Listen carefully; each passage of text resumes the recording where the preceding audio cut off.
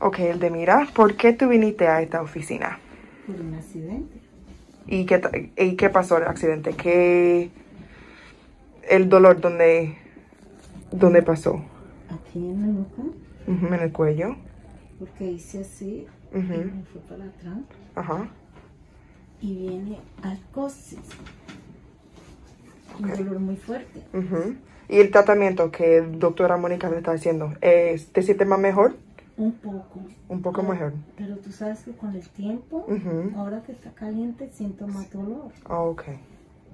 ¿Y te gusta esta oficina y doctora Mónica González? Sí, me encanta Mónica como es. Mónica es muy especial. Muy especial, ok.